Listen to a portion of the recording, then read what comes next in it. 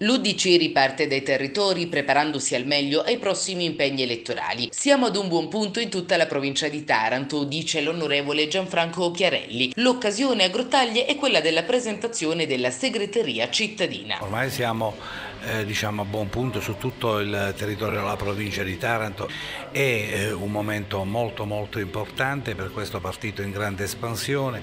Eh, stiamo chiaramente preparando eh, tutta una serie di iniziative per far comprendere anche diciamo, il progetto politico. Un progetto che va avanti da diverso tempo. L'UDC insomma semina, lo fa strutturandosi nei comuni e con linee programmatiche che saranno presentate a breve. In questo momento eh, siamo tutti quanti impegnati perché le richieste di adesione al partito sono tantissime.